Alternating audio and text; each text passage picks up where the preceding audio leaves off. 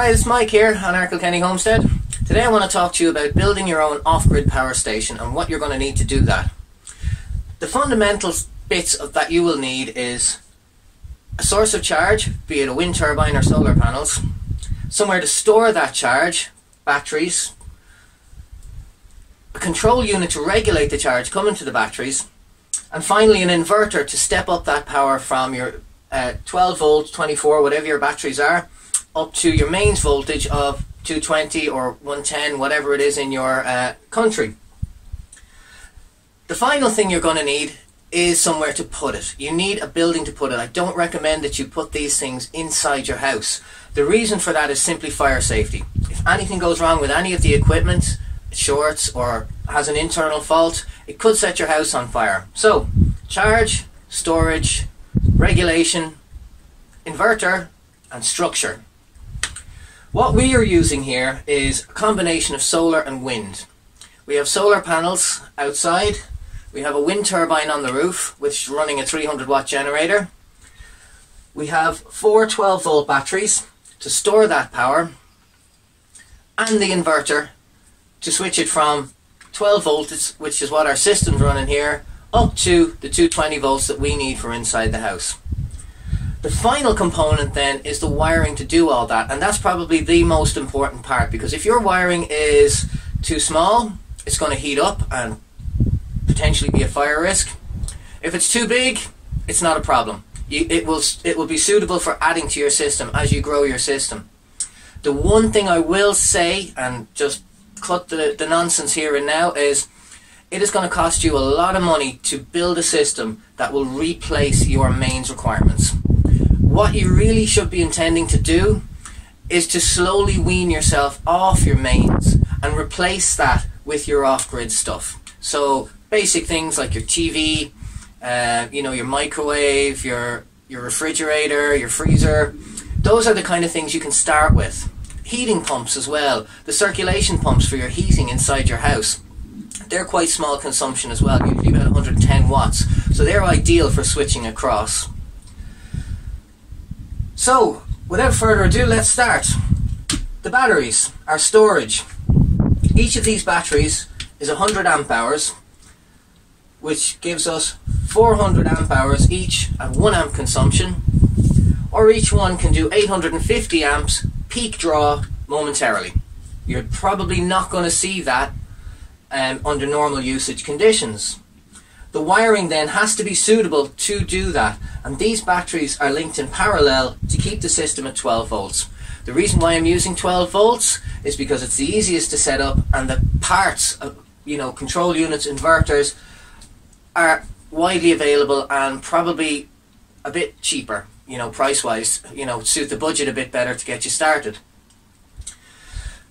Next up, control units. This solar control unit here is able to handle 80 amps coming in from the solar panels and we'll go over and have a look at the panels in a minute. So anything above 80 amps and it's not going to do it.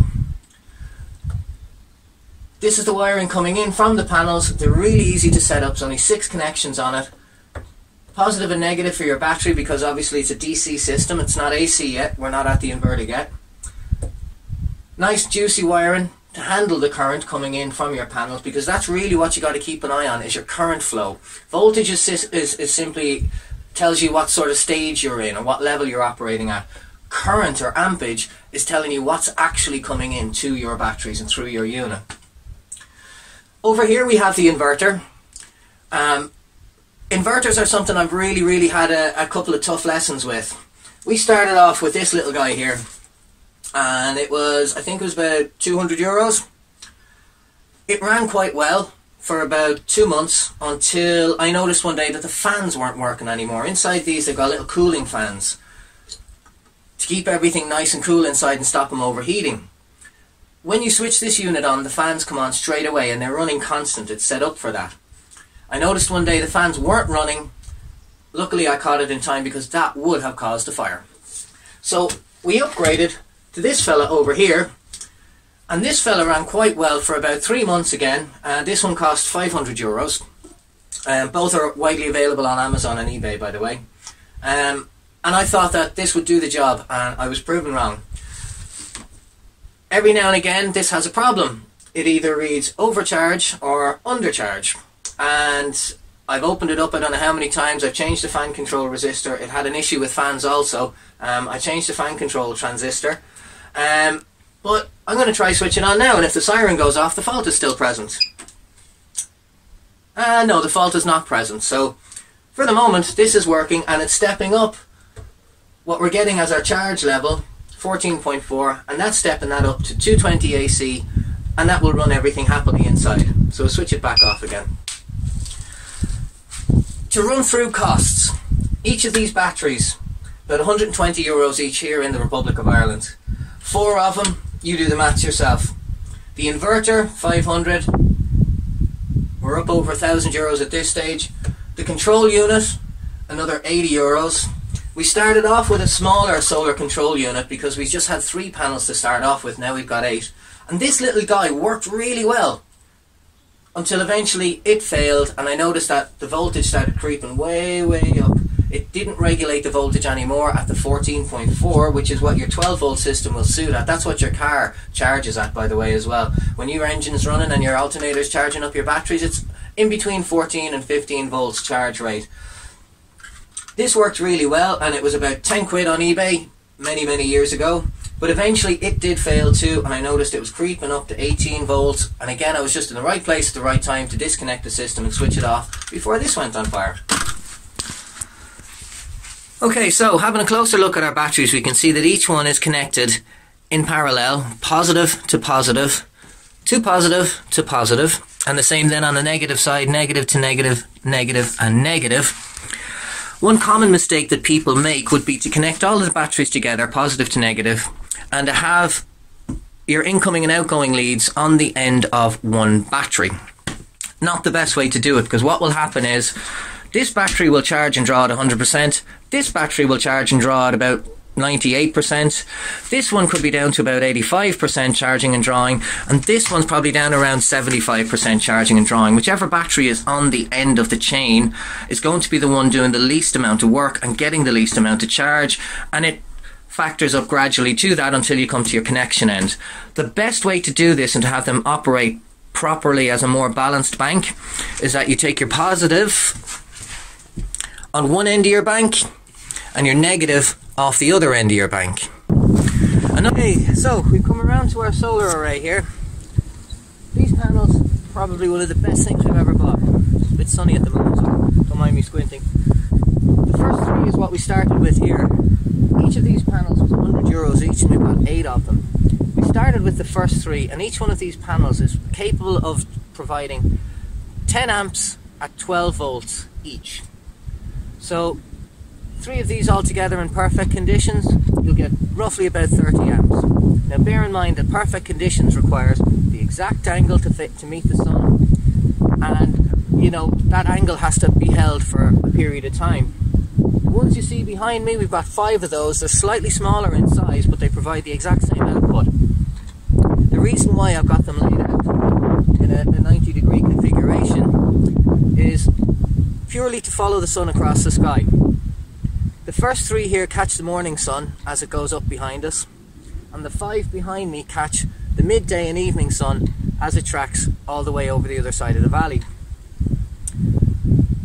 Beautifully enough, that means that for most of the day we get between 20 and 30 amps at 12 volts coming in through the controller and into our system. If you only have one set of panels facing one direction on a fixed frame, your peak time that they are going to charge for is only going to be maybe an hour or two every day. So if you can set up a rotating frame that follows the sun, happy days. For us, we're on fixed frames, so um, we need to have different options each way. Now that light is going to change depending on your season and your location on the planet. Um, for us, our winter sun sets straight over that way and rises over there. But in summertime we get a lot more hours and it rises over there and sets all the way off over there. So these panels are really, really going to perform well in summertime, but for wintertime we're still getting the best of both worlds. Okay, our wind turbine. Now all of this is homemade. The probably do a separate video detailing the construction a bit better. But to sum it up, it's all used from recycled parts. The only thing that was new was the generators.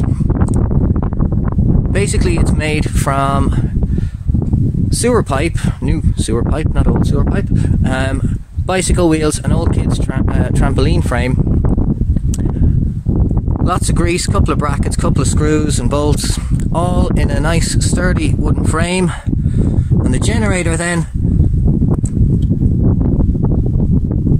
sitting on a little cage of its own which is spring mounted as a shock absorption system just to allow for the bumps in the frame as the frame rotates. And anybody with a keen eye might be able to spot that. Yes that is a skateboard wheel and it works very well.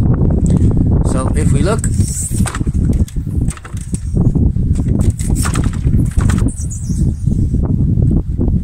and that's all there is to it. Set up something that catches the wind turns freely enough that it will stay turning and has enough torque in the turn to actually drive the generator.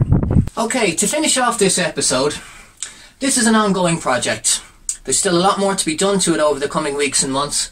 As you can see, there's a lot of wiring here that needs tidying up. In the next episode about off-grid power, we'll talk more about the wind control units which switches from the three-phase AC that comes in from the generators into DC and regulates it at 12 volts for the batteries. So guys, listen, thank you very much for watching.